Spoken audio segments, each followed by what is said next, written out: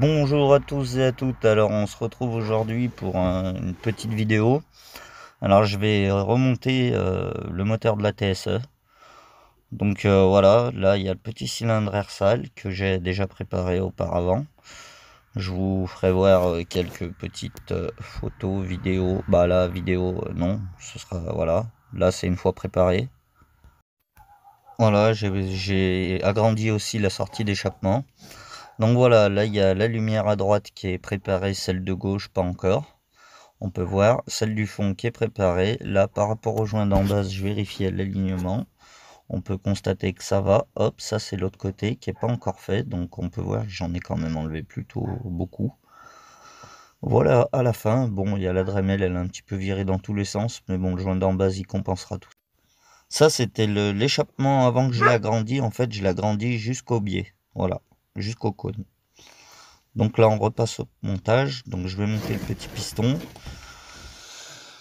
En prenant soin avant de mettre la cage à aiguille et de lubrifier la cage à aiguille. Si c'est pas déjà fait, me semble-t-il. Mais ouais, c'est déjà fait. Bon, alors là, ça va être la bataille avec le circlips. Ça va durer une éternité. Je pense que je vais vous speeder tout ça parce que c'est la mort. Bon, voilà le petit time-lapse euh, du seigneur euh, MV Rider en, galère avec un clips. Je l'ai fait tomber deux trois fois dans le vilebrequin. Bon, ça va, j'ai réussi à le récupérer. Après, j'ai eu la bonne idée de mettre une carte sur le côté. Comme ça, la gravité a fait le travail pour moi. C'était magnifique. Magnifique. Donc voilà. Allez. Voilà, retour à la normale. Donc euh, là, je vous montre que les clips sont bien dans leur gorge. Bon, on n'y voit pas, mais bon, que j'arrive à les faire tourner. Je vérifie qu'ils tournent bien, qu'ils sortent pas de leur logement, que je vais pas avoir de mauvaise surprise dès les premiers tours de, de, moulin, Comme des fois ça arrive, un petit clip qui saute et... tout casser. Donc là, normalement, ça ne devrait pas arriver. Voilà.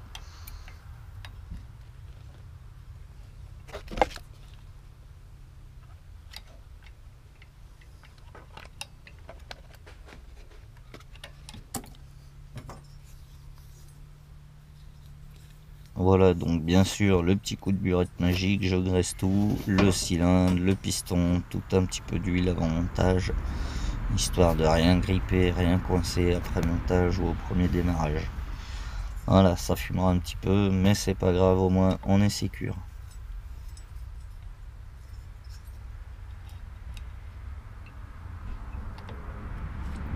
Alors regardez bien, admirez la patience et le tact le professionnalisme de ce gars.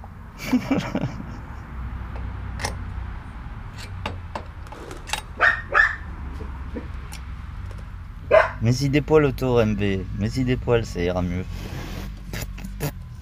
Hein? Lubrifie tout ça.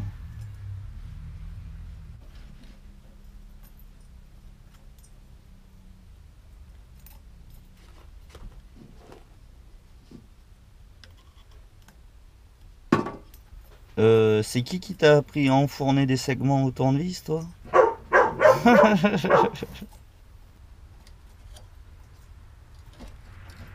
Après le tournevis, la méthode bing bing bing. Non, toujours pas. Bon. Ça va le faire ou ça va pas le faire? On peut faire le 18 si tu veux. Hein 17, 18, 19. Ah, ça y est, il craque. Il craque, je le sens, il craque. Il est en train de péter un plomb.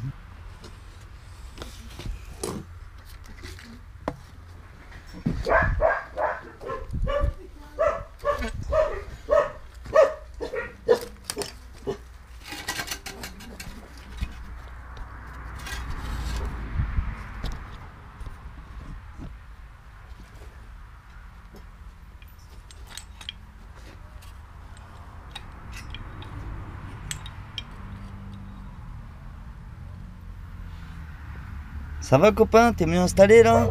Ben nous on voit plus rien avec tes conneries, y a tes grosses jambes devant nous. Bon, bah c'est pas grave, je vais expliquer comme si. Bon alors voilà, là j'ai remonté le piston pour voir un petit peu ce que je faisais, le segment. me mettre à sa place, essayer d'enfourner le cylindre. Et puis là, je me suis rendu compte que j'étais en train de faire un 8 avec mon bras autour des couchons. Alors, bon, j'avais juste à tourner autour de la chaise. Mais euh, non, j'ai bataillé un moment, j'avais plus l'habitude là. Pourtant, plus, Airsal, j'ai pas du tout l'habitude. Le monosegment côté échappement, waouh, ça m'a perturbé euh, de fou. Mais euh, ça l'a fait, hein, au final. Comme le reste. Hein. Ah, je le sens bien parti là. Et en fait, euh, ouais, j'ai galéré le, segment, la lignée. Il, je sais pas, on aurait dit qu'il était voilé. Il, avait tendance à sortir de la gorge que d'un côté. C'était bizarre. Il, aurait dit qu'il était ovale. Eh bah ça y est, il a réussi. Ouais. Il euh, a pas de problème là? Et oui, le piston dépasse du cylindre. Mais c'est normal, il y a le joint de culasse, il y a le joint de cucu. Je l'avais oublié, j'étais en train de me dire comment ça, un millimètre dans mon nez là, je fais comment? Et le squish, il est où le squish là? Bon bah du coup ça l'a fait, hein. j'ai mis le joint de culasse et puis la culasse par-dessus. Euh, j'avais pas de bougie à culot court, j'ai pris une bougie à culot long, j'ai collé trois rondelles dans le nez. Ça m'a fait une bougie à culot moyen. Il a rien qui tape, ça passe, ça tourne comme ça. Qu'est-ce qu'il y a? Faut que ça roule. Voilà, je vous trouve un angle de vue euh, un petit peu mieux. Plus sympa.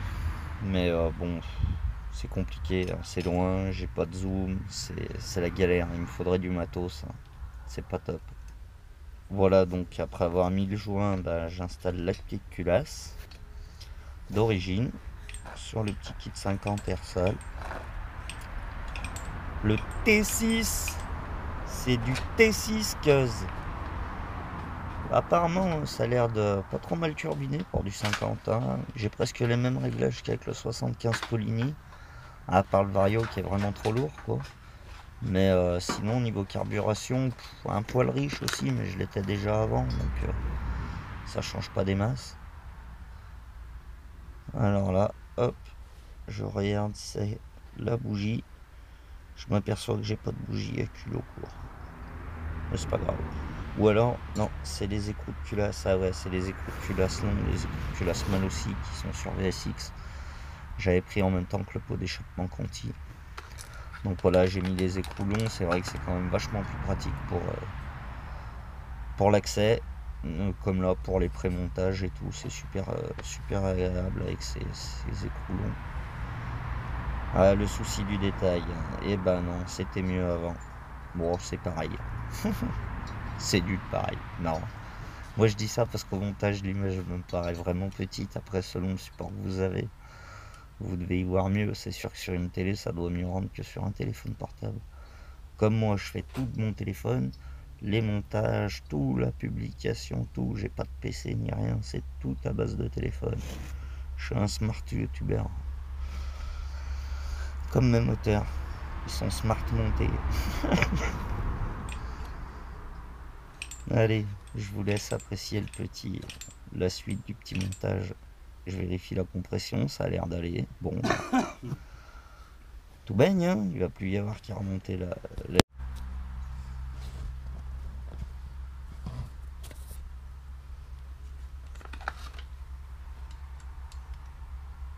Voilà, alors à la différence de toi, Tomahawk, euh, c'est que moi j'ai pas de visseuse électrique. Alors je me sers de la bonne vieille clé et je prends mon pied à serrer mes bons petits écrous. Voilà, je prends mon temps, je suis en vacances, c'est mon petit plaisir, ça me fait du bien. Voilà, pas d'histoire de vite, vite, vite, patron, de l'argent, de l'argent. C'est bon, ça en coûte de assez de l'argent. On va y aller doucement, c'est bien aussi. Savoure un petit peu la vie. Petite info, à la fin, je vous ai mis euh, deux intros, deux génériques euh, d'intro, mais sans la musique. C'est pour qu'il y ait les 20 secondes pour que je puisse mettre mes écrans de fin sans rogner la vidéo. Voilà, donc euh, ça vous laissera l'occasion de regardez d'autres vidéos. Et euh, quand vous y êtes, n'hésitez pas à liker, partager tout ce qui va bien. Ça comprime sec. Ça va le faire. Et vous voulez voir un petit kit 50 Air sale en action Allez, spécialement pour vous. Vous ai passé le remontage du moteur, parce que bon, il n'y avait rien de spécial à mettre euh, un goujon dans un trou, donc voilà.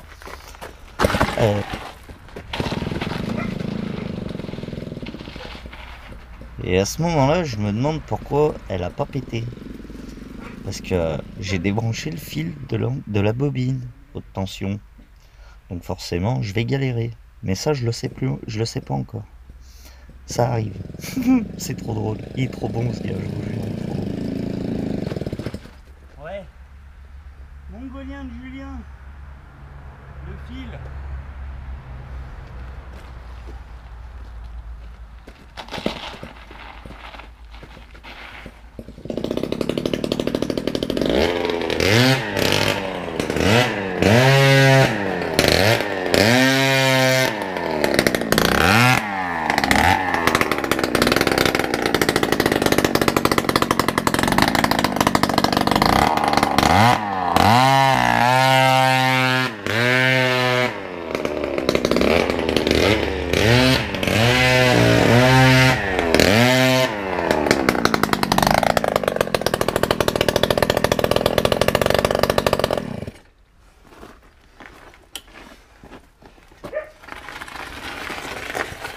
Voilà pour votre plaisir le petit test sans pot d'échappement.